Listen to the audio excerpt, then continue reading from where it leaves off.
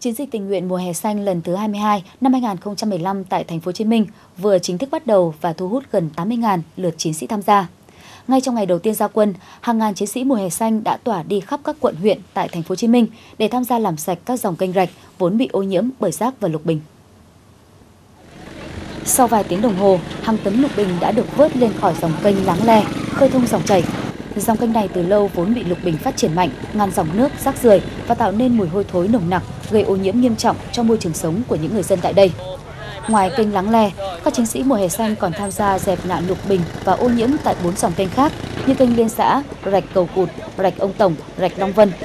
Hoạt động này đã góp phần vào tiết kiệm chi phí của thành phố và kêu gọi người dân cùng tham gia xử lý môi trường kênh rạch. Mỗi năm, thành phố Hồ Chí Minh đã phải chi gần 3 tỷ đồng để vớt lục bình và rác thải tại các dòng kênh.